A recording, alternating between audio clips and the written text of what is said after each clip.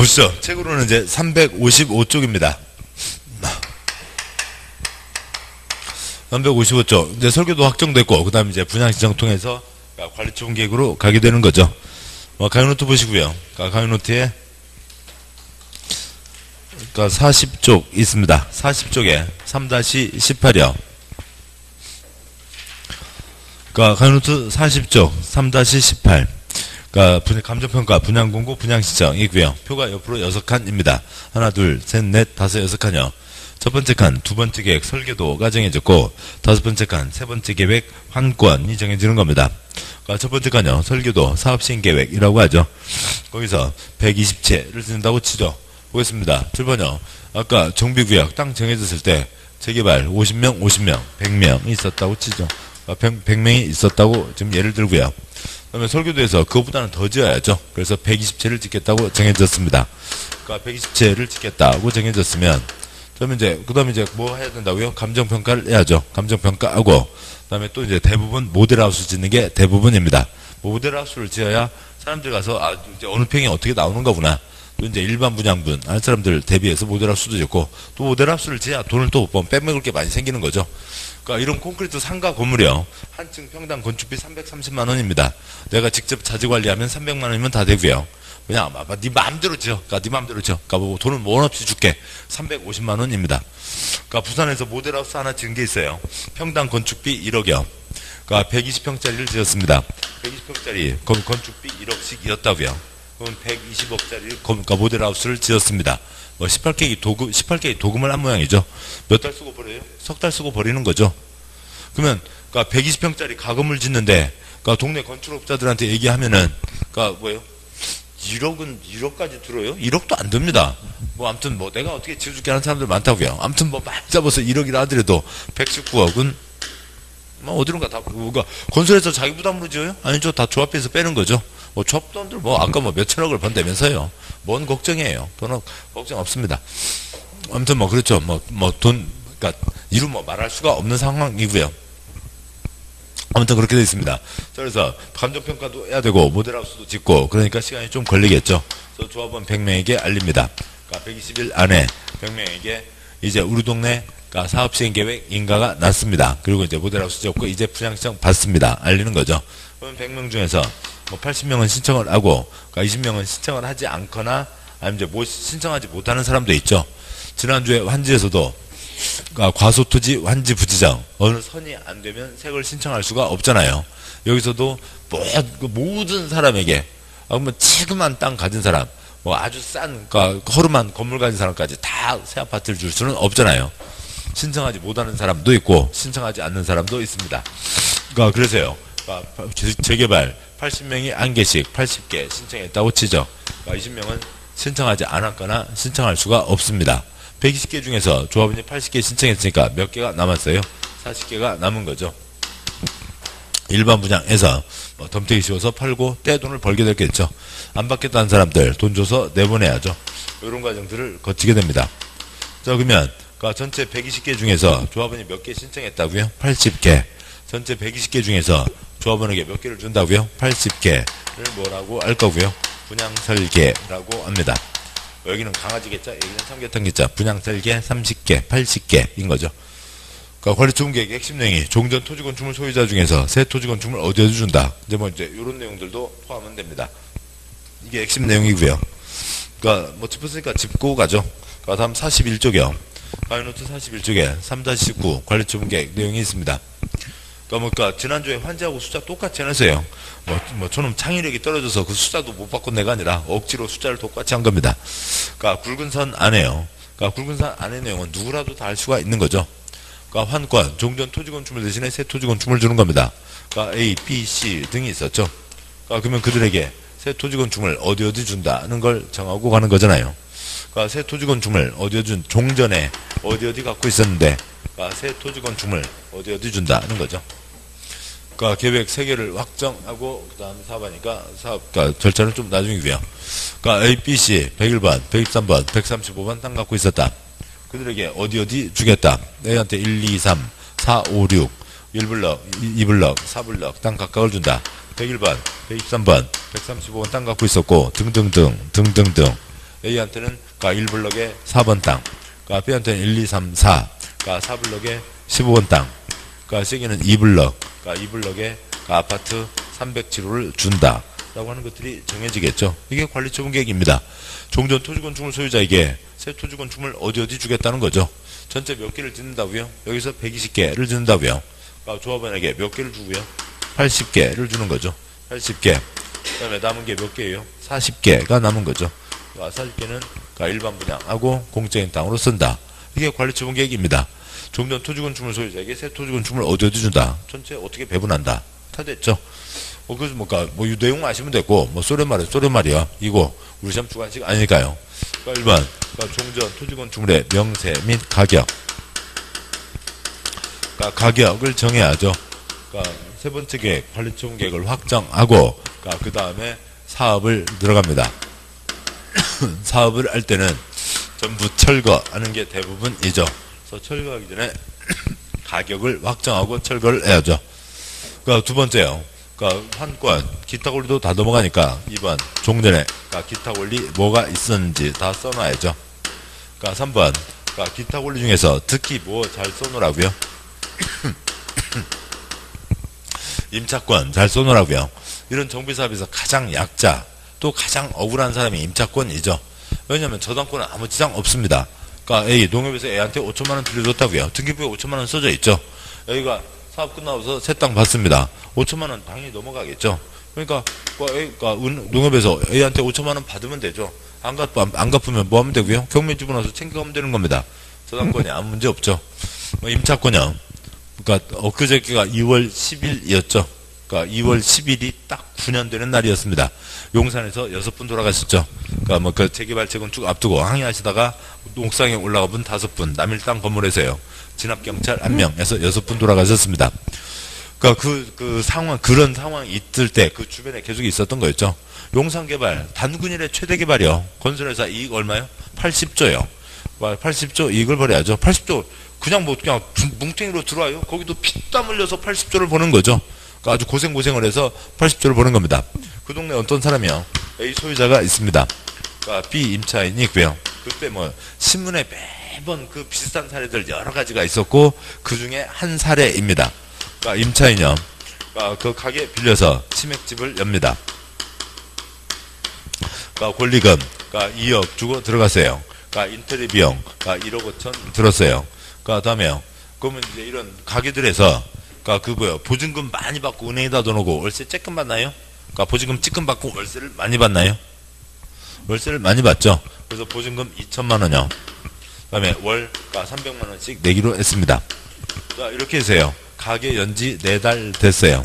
그러니까 4달 됐는데 그러니까 저쪽에서 사업을 해야 되니까 나가랍니다. 그러니까 80조를 벌어야죠. 80조 벌려면 그쪽도 고생을 할 거라고요. 그래서 이것저것 다 계산하고 하는 거죠. 그러니까 그러세요. 그러니까 이 사람에게 돈 줘서 내보내는데 권리금 쳐주나요? 안 쳐주죠. 그러니까 인테리어 비용 쳐주나요? 안 쳐주죠. 건설에서 하는 얘기는 뭐고요? 이거 철거 비용 안 받는 것만 해도 고맙게 알아. 그런 거죠. 이거 다 철거해야 되잖아요. 그러니까 그 다음에 아, 돈 줄게, 돈 줄게, 돈은 줄게. 2천만 원. 아, 이건 당연히 줘야 될 돈이죠. 그 다음에 아이고 그동안 뭐 고생 많았는데 그러니까 이제 월세 안 내도 되겠네. 그러니까 2천만 원에다가 이사비 300만 원, 영업보상비 200만 원, 그러니까 2,500만 원 주고 나가랍니다. 지금 네, 네달 돼서 이제 전화 오기 시작하고 있어요. 양념 반, 프라이드 반 주면 들어오기 시작하고 있습니다. 지금 3억 7천 들여서 가게 연지 네 달 됐어요. 그러니까 2,500 받고 나오실래요? 누가 나와요? 말이 안 되는 거죠.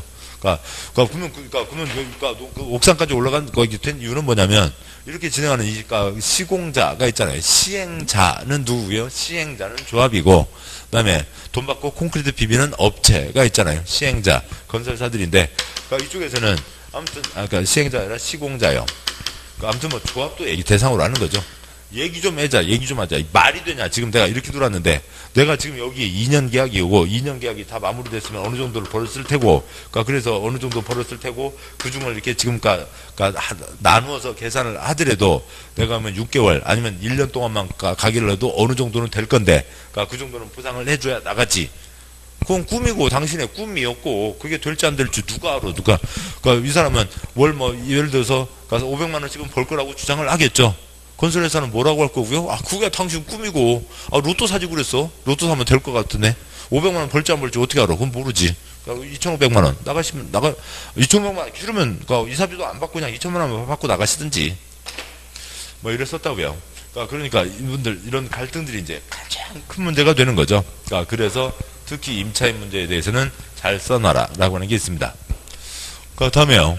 그러니까 새 토지 건축물 누구누구한테 어디 어디 줄 거냐라고 하는 거죠. 분양 대상자. 그다음에 5번. 그러니까 새 토지, 새 아파트 값이 얼마다. 그러니까 그래서 분양 예정. 그러니까 대지 건축물의 가격. OX. X인 거죠. 아직 사업하기 전이잖아요. 그러니까 사업하기 전이니까 모래값, 철근값 어떻게 될지 알 수가 없는 거죠. 가격 X 뭐고요? 예정가, 추산액이죠. 뭐 여기 뭐 말 많습니다만 요것만 구분하시면 되고요. 그 다음에 전체 120개 중에서 조합원에게 80개 빼준다고요. 80개가 뭐고요? 아, 분양 설계. 그 다음에 그 40개 팔아서 일반 분양분 들어오죠. 그 이제 이따 다시 보겠습니다만 보류지. 그 전체 사업비는 어느 정도가 되고 그 중에 조합원은 조합원들은 언제 얼마쯤 내야 될지라고 하는 것들이 정해집니다. 뭐 이쯤 이 네 번째 덩어리요. 뭐 뭐, 곧 들으시면 아시고, 여기만 좀 껄끄러운 거고, 앞에 세덩어리 뻔한 얘기죠. 종전 토지 건축물 대신에 새 토지 건축물 어디에 준다? 80개 준다? 40개 빠진다. 그러니까 분양 예정. 아직은 사업하기 전이니까 가격을 정할 수 없죠. 추산액입니다.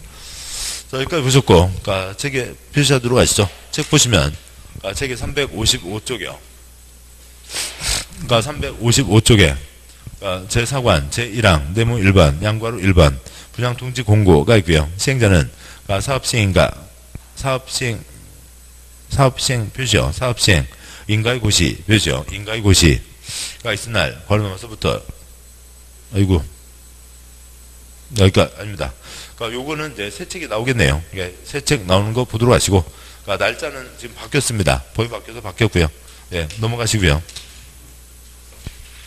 그래서 여기에 뭐라고 뭐라고 날짜 돼 있는데 뭐 날짜야 뭐 그 다음에 보시면 됩니다. 새 책 나오면 그러니까 이것도 새 책이긴 한데 이 책 나온 뒤로 그러니까 2월 9일에 완전 다 바뀌었다고요. 그러니까 2월 9일에 다 바뀌었습니다. 그래서 그러니까 몇 가지는 놔두시고 네, 다음 장 가시죠. 한 장 넘어와서 그러니까 358쪽이요. 그러니까 358쪽에 그러니까 네모 2번 그러니까 관리처 분계 있습니다. 그러니까 관리처 분계 양과 1번 본문 그러니까 시행자는 분양 신청 기간이 종료된 때에는 분양 신청 현황을 기초로 다음 사항이 포함된 관리처분 계획 표시형 관리처분 계획을 수립해서 시장구수 등의 인가 표시형 시장구수 등의 인가를 받아야 된다. 뭐 뒷내용 나중에 보시고 관리처분 계획 써서 인가를 받는다. 박스에 그러니까 1번 분양 설계 표시형 분양 설계 그러니까 2번 분양 대상자 표시형 분양 대상자 주소 및 성명 3번 분양 대상자별 분양 예정 표시형 분양 예정 돼지건 주물의 추산액 표시요. 추산액. 그러니까 4번.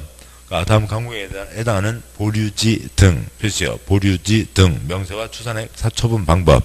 그 중에 넷째 줄 내려와서요. 가번 일반 분양분 표시요. 일반 분양분. 그 다음에 숫자 5번. 분양 대상자별 종전 표시요. 종전. 토지건 주물 명세 표시요. 명세. 사업시행계획 인가고시가 있은 날을 기준으로 한 가격 표시요. 가격.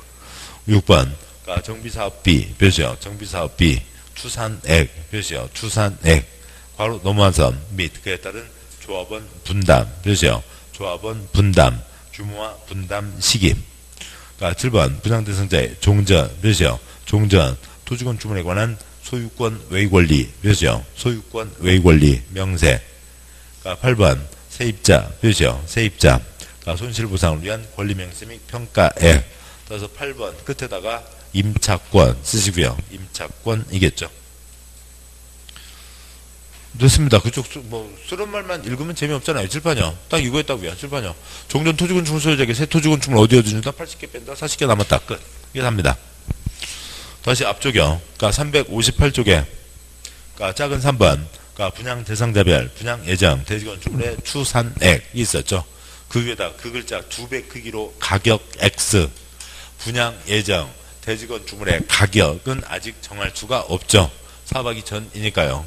그래서 가격 X 추산액이고 그러니까 4번은 보류지 표시했고 가번에 일반 분양분 표시했죠. 더 이상 됐습니다. 그러면 다 했고요. 그러니까 그 지난주에 환지를 봤었죠. 그러니까 환지에서요.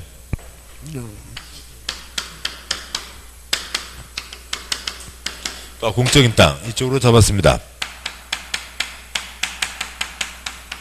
그러니까 공적인 땅 이사를 해서 그러니까 이만큼은 묶어놔야 된다. 보류지였죠.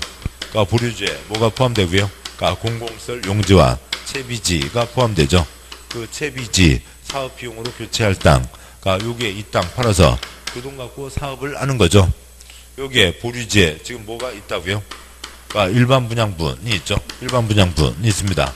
그러니까 일반 분양분 이거 새 아파트 조합원이 3억씩 가져가면 일반 분양분 6억씩 판다고요.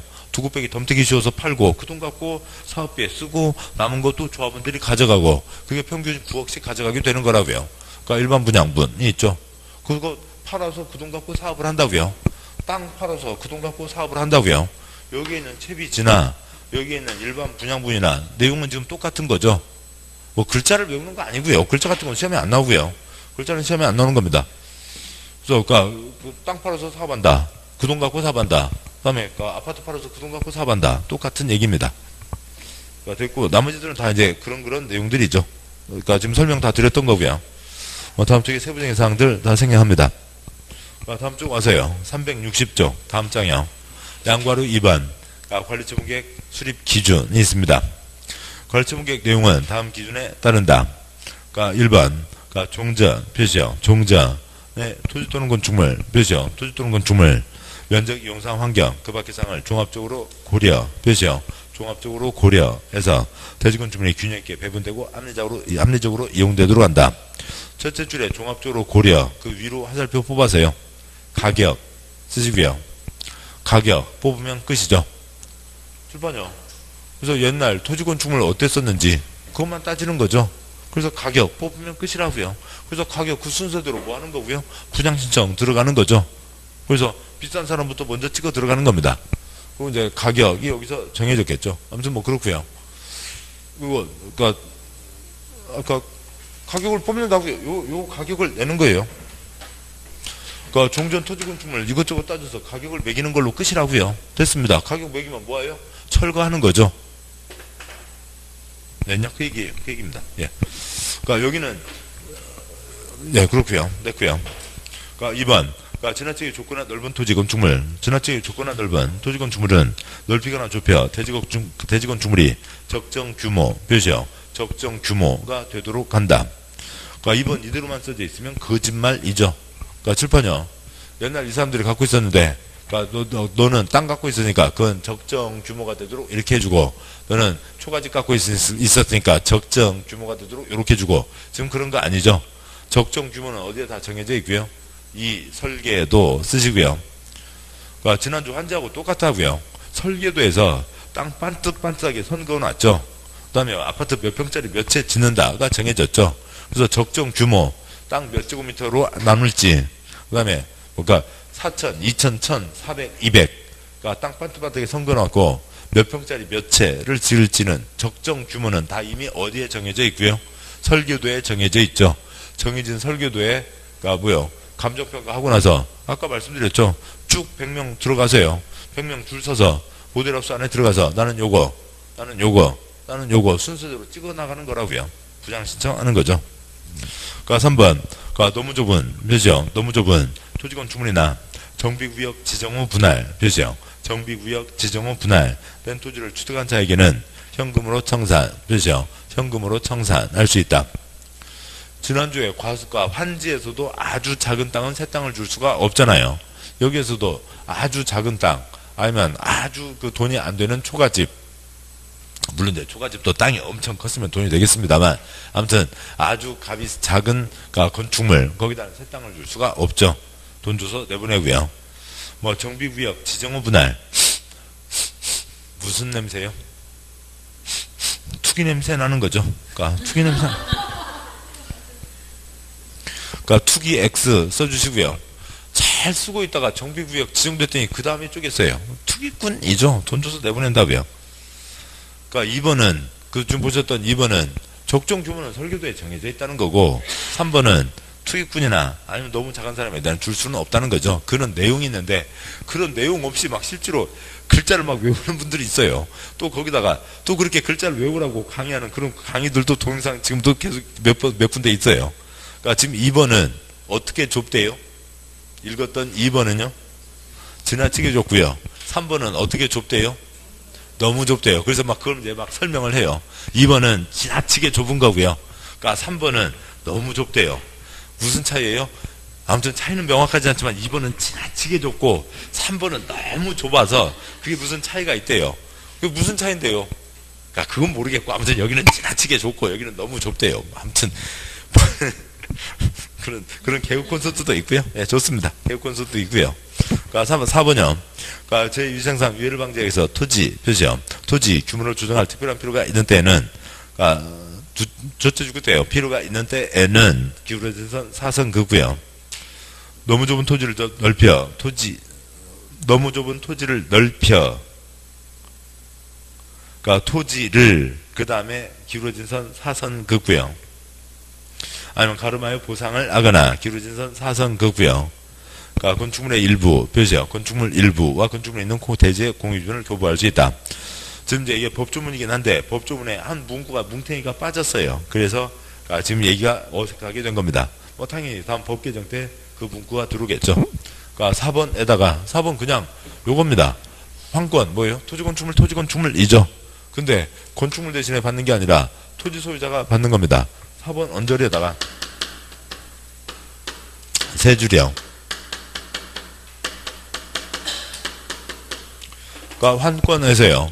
그러니까 토지 소유자에게 토지나 건축물, 건축물 소유자에게 토지나 건축물을 주는 거죠. 그래서 토지 소유자에게 뭘 준다고요? 토지나 건축물을 주는 겁니다. 또 아니면 아 나는 안 받을란다. 또 아니면 뭐 작거나 그러면 돈 줘서 내보낼 수 있죠. 그냥 환권 그대로 써놓은 거예요. 환권 그대로라고요. 그래서 두째 줄이요. 너무 좁은 토지를 넓혀 한 토지를 맞춰주거나 그 다음에요. 그 다음에 가름해서 땅 대 토지 건축물 대신에 가름해서 보상 돈 줘서 내보내거나 아니면 건축물의 일부 아파트 한 채를 주거나 할 수 있는 거죠. 뭐 거기 문구가 뭐라고 들을지는 아직 법이 개정돼야 되니까 그 문구를 지금 뭐 제 나름대로 마음대로 끼워 넣을 수는 없고 뭐 해봤자 뻔한 얘기라고요. 예, 그냥 환권입니다. 환권 중에 요 그림 그대로라고요. 그러니까 5번. 그러니까 분양 설계 표시요. 분양 설계. 5번 앞에다 몇 개요? 80개 쓰시고요. 그러니까 10월 때까지 계속 이 자리는 80개 분양 설계 갈 겁니다. 그러니까 80개 계획은 분양 신청기간 만료 되죠. 분양 신청기간 만료 되는 날을 기준으로 해서 출입한다. 그러니까 7번 보시죠. 그러니까 전체 그러니까 110개 짓겠다고요. 100명한테 얘기했습니다. 80명이 신청하는지 79명이 신청하는지 언제 알아요? 신청기간이 끝나야 알 수가 있죠. 신청기간이 끝나야 80개인지 알 수가 있습니다.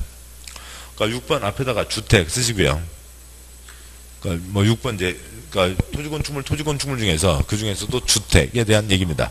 이제 6번 주택 7번 같이 이어지는 거고요. 그러니까 6번 그러니까 1세, 대 또는 1명 표시요.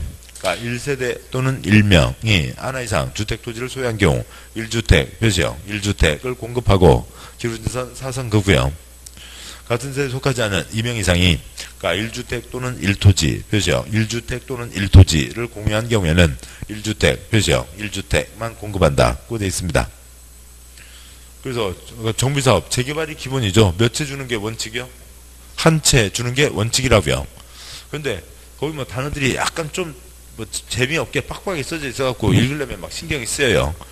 근데 이제 그 지금 몇 쪽이죠? 360쪽이죠. 360쪽 제일 아래다가 나중에 이제 뭔가 붙일 게 있을 거니까 360쪽 제일 위에다 다음 두 줄을 쓰시죠. 그러니까 지금 그러니까 6번이었습니다. 6번이요. 제일 위에다 두 줄이요. 6번. 지금 6번을 지금 풀어서 쓰는 거라고요. 그러니까 1인이 10채 갖고 있으면 그러니까 몇 채를 주고요. 한 채를 주고 그러니까 10인이 그러니까 한 채를 갖고 있으면 그러니까 몇 채를 주고요. 한 채를 준다고요. 한 채 주는 게 원칙이죠. 한 채 주는 겁니다. 한 사람이 땅 10개, 건물 10개, 100개 갖고 있어봤자 몇 채 주고요? 한 채를 주는 거죠. 그러니까 뭐 그러니까 열, 열, 열 사람이 됐든 480명이 됐든 하나를 공유하고 있으면 몇 채를 준다고요? 한 채를 주는 거죠. 저는 자리가 좁을까 봐서 360쪽 제일 위에다 쓰자고 말씀드렸어요. 예, 아무튼 알아서 쓰시고요. 그러니까 그러면 6번. 그러니까 이렇게 보는 게 훨씬 더 선명합니다. 아무튼 한 채 한 채라고요. 한 사람이 많이 갖고 있어도 한 채, 한 채를 별 나- 장난을 다 해놔도 한 채인 거죠. 그러니까 7번요. 그러니까 위규정에 불구하고 다음 경우에는 각각 방법에 따라 주택을 공급할 수 있다. 가번은 넘어가시고 나번 다음 어느 한에 해당하는 토지등 소유자에게는 소유한 주택 수만큼 되죠. 소유한 주택 수만큼 공급할 수 있다. 방과로 1번 과밀 억제 권역에 위치하지 아니한 되죠. 과밀 억제 권역에 위치하지 아니한 재건축 되죠. 재건축 사업의 토지등 소유자. 그러니까 둘째 줄에 다만 동그라미 하시고요. 다만은 나중에 읽겠다고요. 나중에 읽어야죠. 그러니까 주택법 보고 나중에 와야 됩니다. 방과로 2번. 그러니까 근로자, 표시요. 근로자. 숙소 기숙사, 표시요. 숙소 기숙사. 용도로 주택을 소유하고 있는 토지등 소유자. 방과로 3번. 뭐 다 밑줄이요. 다 표시요. 국가, 지방자산체, 토주택공사 등 다 표시하시고 아, 그때 괄호 공적 주체 쓰시고요. 공포 행위 주체 네 가지가 있죠. 국가 지방 공기업, 민간 중에 국가 지방 공기업, 공적 주체입니다. 다는 나중에 보시고 제일 아래 라요, 라. 그러니까 과밀 억제 권역, 표시요. 과밀 억제 권역에 위치한 그러니까 재건축, 표시요. 재건축 사업 경우에는 토지가 소, 토지중 소유자가 소유한 주택 수의 범위에서 3주택까지, 표시요. 3주택까지 공급할 수 있다. 다만 동그라미 하시고요. 다만은 역시 나중에 보시고 그러면 이제 과밀 억제 권역이라고 되어 있는데 뭐 그건 뭐 초점은 아닙니다. 그러니까 뭐 그 그냥 바글바글 지어 그것만 떠올리시면 되고요. 어 그러니까 그 그림을 그린다거나 그리지 마시고 그러니까 또 메모도 하지 마시고요.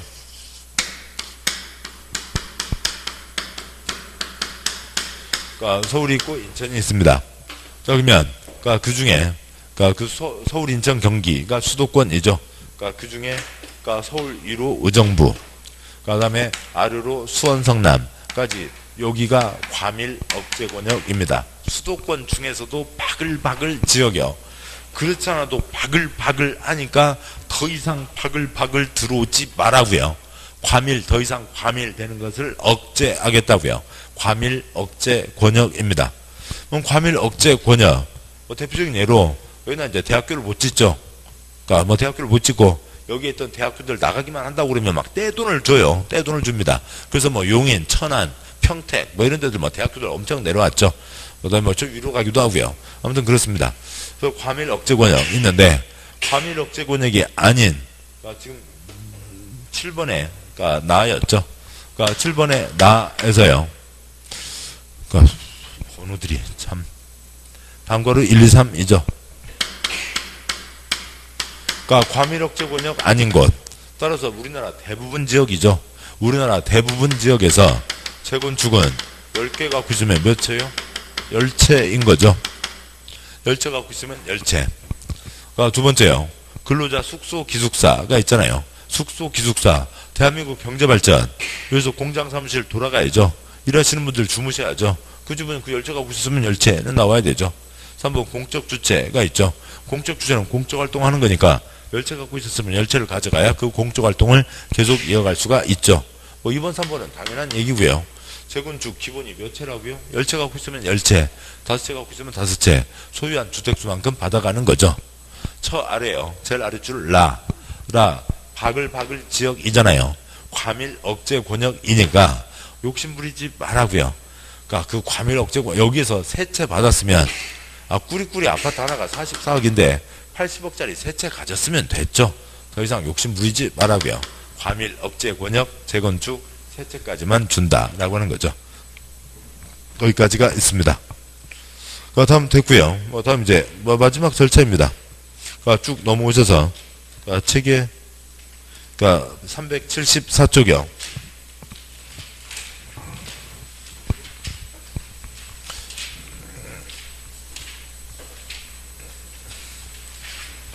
그러니까 374쪽은 펴시고 그다음에 강의노트 41쪽 보시죠. 그러니까 41쪽에 그러니까 3-21입니다. 그러니까 41쪽에 3-21 네, 사업은 멋대로 하고요. 사업은 설계도대로 하는 거죠. 그러니까 설계도대로 공사 끝 발표가 있습니다. 그러니까 공사 끝 발표가 있으면 이제 관리처분 계획 정해진 대로 넘겨줘야죠. 그런데 여기에 뭐 100일 옛날 101번, 123번, 135번 막 지금 막 우, 엉망진창 빗줄 빼줄 우, 죽순 빈자리 있는 대로 막 꽂아 넣으면서 건물들이 생겼잖아요. 땅 지번도 엉망진창입니다. 그래서 일단 다 철거해서 가니까 깔끔하게 그러니까 지적도 새로 만들고요. 사업 끝났으면 그러니까 새 지적도를 만들고 그다음에 그러니까 A한테 그러니까 뭐 4번, 4번 C에게 3복지로 그러니까 B에게 15번 땅 주기로 했다. 모르고 있다 이제 알아요. 이미 사업하기 전에 세 번째 계획 알고 있던 거예요. 이미 알고 있던 거죠. 다시 한번 확인하고 아무 얘기 없고요. 그다음에 뭐 한다고요? 넘겨주면 되죠. 사업 다 끝났으니까 A, B, C에게 정해진 대로 넘겨주면 됩니다. 그러니까 소유권 이전을 하면 되죠. 소유권 이전. 그러니까 오뚜께 오뚜께 넘겨준다고요? 고시 하면 넘어가죠. 지난주에 환지처분 공고 하면 넘어가고 소유권 이전 고시 하면 넘어가고 발표 하면 넘어가는 겁니다. 발표하면 넘어간다고요. 언제 언제 넘어간다고요? 밤 12시에 넘어가는 거죠. 밤 12시 넘어갑니다. 자동방으로 물건 됐고, 처분을 위해서라도 뭐는 해야 되고요. 그러니까 등기는 해야죠. 자, 여기까지가 맞고요. 그 다음에 다음 쪽 보시면 그 42쪽에 3-22형 그러니까 청산금 그러니까 청소하듯이 깨끗하게 계산 끝내는 돈 청산금입니다. 그러니까 7번 보시죠. 여기에서요. 그러니까 A가 아니 뭐 C로 하죠. 그러니까 C가 옛날 집 갖고 있었습니다.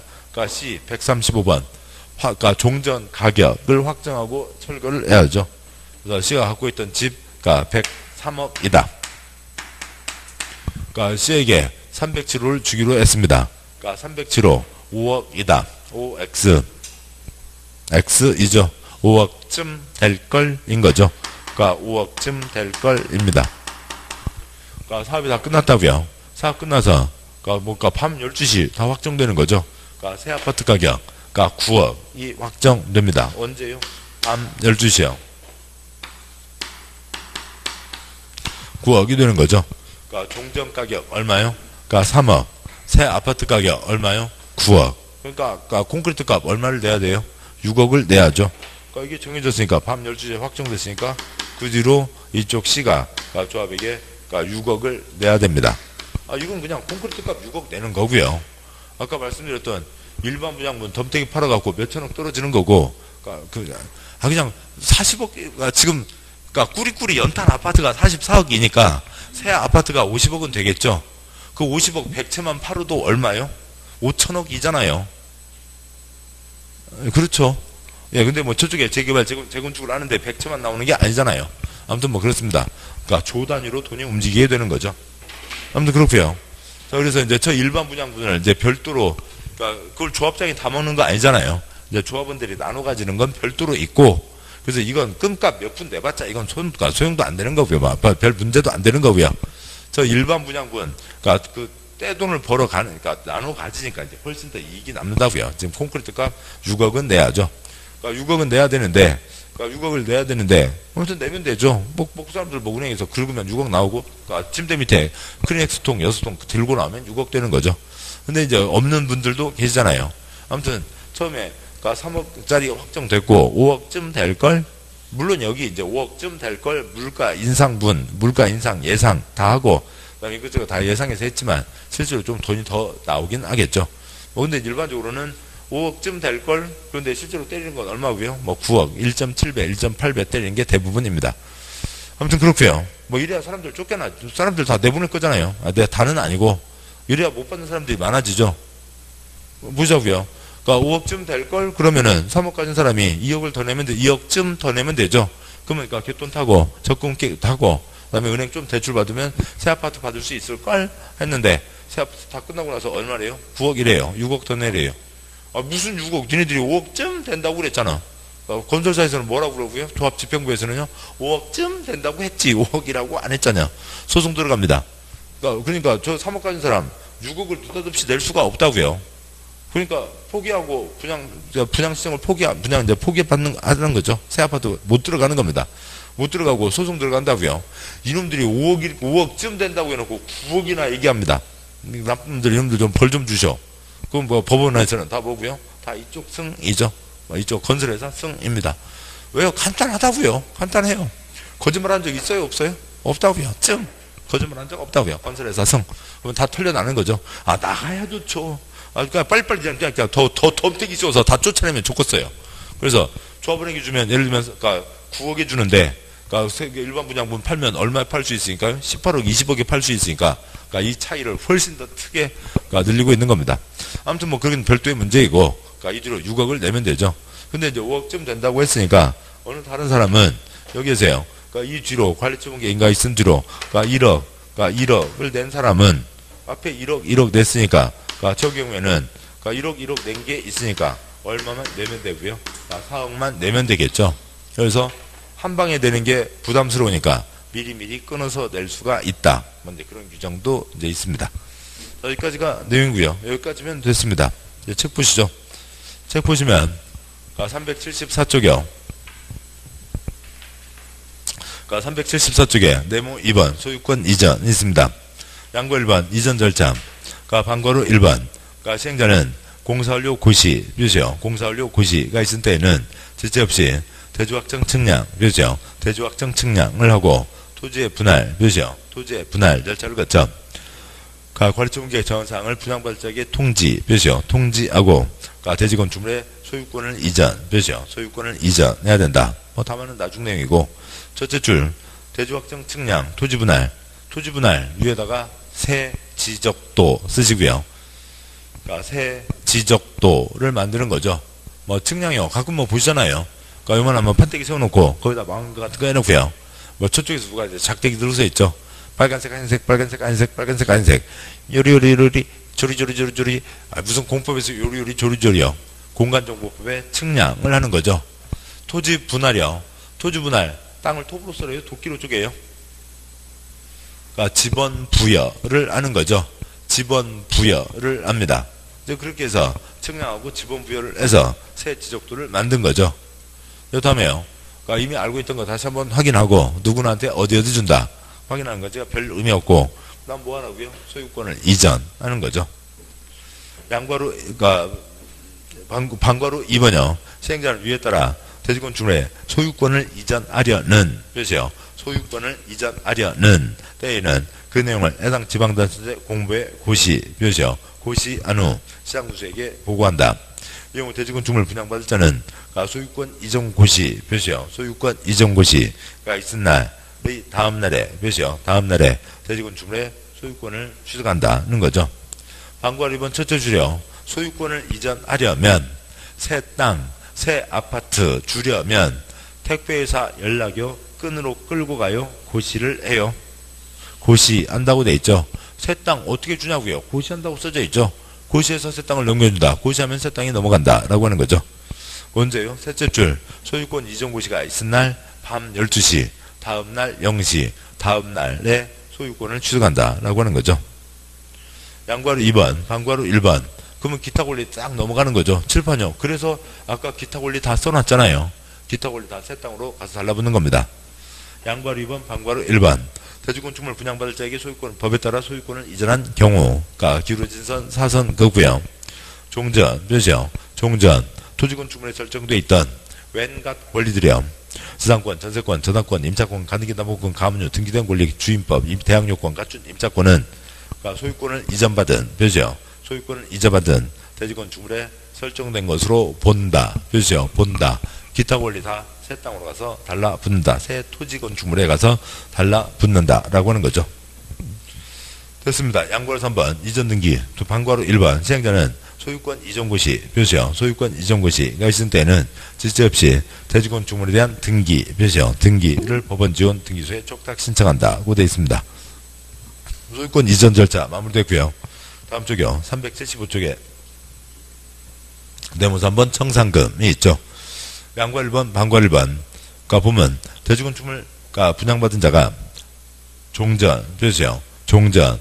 내 소유하고 있던 토지 건축물 가격과 분양받은, 표시요. 분양받은 대지 건축물 가격 사이에 차이, 표시요. 차이가 있는 경우 사업 시행자는 분양받을 자에게 분양대지 건축물에 대한 소유권 이전 고시가 있은 후에 그 차액 표시요 차액에 상당하는 금액 과로 있는 청산금 표시요 청산금을 징수하거나 지급해야 된다. 그러니까 뭐 그렇죠. 종전 가격은 이미 확정돼 있었고 새 가격 언제 확정되고요? 밤 12시에 확정되는 거죠. 그래서 그 차액을 주고받고 한다. 방과로 위반. 그러니까 위규정이 불구하고 사업신계는 정관 등에서 분할 징수, 분할 지급을 정하고 있거나 총회 의결을 거쳐 따로 정한 경우에는 기울어진 선 사선 그구요. 관리처분계획 표시요. 관리처분계획 인가 후부터 표시요. 인가 후부터 소유권 이전 고시가 있는 날까지 일정 기간별로 분할 표시요. 분할 징수하거나 분할 표시요. 분할 지급할 수 있다. 그러니까 한 번, 그러니까 3억, 9억 확정됐으니까 이대로 6억 내는 게 기본. 그런데 미리미리 나눠내자. 그 정한 거 있거나 아니면 뭐 정, 정관에서 안 정했어도 총회에서 정했으면 이제 당연한 거죠. 그러니까 그러면은 그래서 그러면은 그게 언제부터요? 여기서부터는 아니겠죠. 최소한 뭐는 확정되고 3억은 확정되고요. 뭐가 있은 다음부터요? 관리처분계 인가 후부터 그 뒤로서 그 뒤로 얼마 얼마씩 끊어낼 수 있다라고 하는 거죠. 그렇습니다. 그 다음 장 와서요. 자, 소멸시용. 자, 376종. 양괄 3번. 자, 방과로 2번. 376조 양과 3번 방과로 2번 청산업 지급할 권리 이를 징수할 권리는 소유권 이전 고실부터 이 소주, 소유권 이전 고실 다음날 표시요 다음날부터 이전고실 밤 12시 다음날 0시 다음날 이죠 그러니까 5년간 표시요 5년간 행사하지 않으면 소멸한다 표시요 소멸한다. 뭐 지난주에 썼으니까 안 써도 되겠죠. 민법 채권 소멸시효는 기본이 10년 행정법 채권 소멸시효는 기본이 5년입니다. 자, 이렇게 이제 돼서 이제 사업이 다 끝나게 된 건데 또 3절 정비사업 시행을 위한 조치는 요 과정이요. 여기 사업을 할 때 지켜야 될 이러저러한 세부 사항들이 있습니다. 아니, 세부 사항들은 한도 끝도 없이 많아요. 뭐 그런 것들 신경 쓸 필요 없고요. 7번요. 정비법 여섯 문제죠. 아까 이 표에서 두 문제, 세 가지 사업의 차이점, 특성, 그 다음에 그러니까 조합에서 두 문제, 차이점과 공통점. 이제 그 세부적인 사항은 아, 오늘은 다 깊게 안 봤습니다만 네 문제 됐고요. 나머지는 다 시간 탱탱 남으니까 뭐 그런 수준들입니다. 큰 초점 아니고요. 자 여기까지 이제 건축법 보셨고 다음 주는 이제 그러니까 건축법 일로 가게 되죠. 그리고 이번 주 중에 이제 설이 있네요. 오늘 수업 좀 이렇게 마무리해도 되겠습니다. 그러니까 마무리하고요. 그러니까 그 예, 다음 주에 그러니까 건축법 내용 보도록 하시죠. 그러니까 주중에 그러니까 설 잘 맞으시고요. 새해 복 많이 받으시기 바랍니다.